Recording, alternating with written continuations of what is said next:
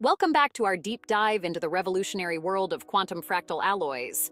In this episode, we're looking at three categories that push the boundaries of aerospace, durability, and advanced energy systems. Starting with lightweight aerospace alloys, these materials combine exceptional strength with minimal weight.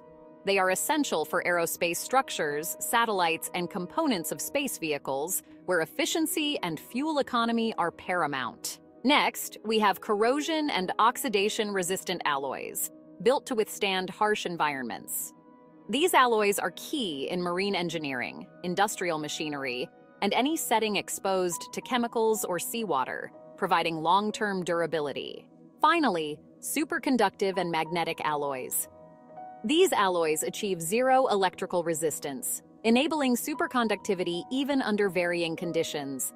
Applications include quantum computing, magnetic levitation, and advanced power storage systems, making them vital for next-gen technology. Join us in the upcoming episodes as we continue exploring the amazing properties and applications of quantum fractal alloys.